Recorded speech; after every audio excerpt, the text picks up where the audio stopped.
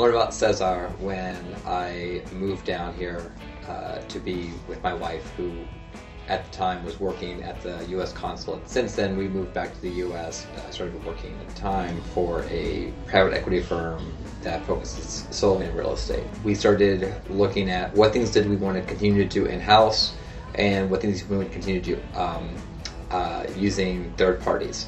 Our needs as we continue to grow and become more sophisticated from a technology perspective, we needed to have a better, more sophisticated technology partner. For the longest time, I'd been trying to think, well, how can I find a way to work with Cesar?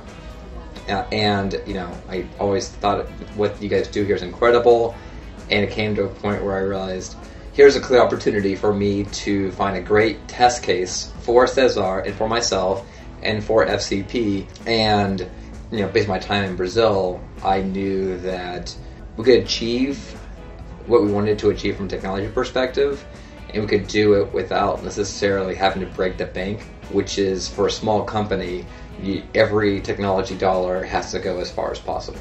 So I think one of the things that both Cesar and I did really well was let's understand your business, let's understand what you guys do, your approach, before we try to actually try to understand the problem. By establishing that baseline of knowledge, when we got into the project, when we would have conversations with Cesar, they were not asking questions that were not pertinent to the project. They were able to ask questions that made sense because they I understood what we do, who we are, and what we were trying to achieve with the project. Every week we'd have a status meeting, and the advancement that Cesar made on a weekly basis was incredible. First of all, I think Cesar is one of the most impressive organizations that I've seen here in Brazil. My time living here in Brazil saw a lot of different companies, saw a lot of different initiatives, have many friends that live and work in Brazil.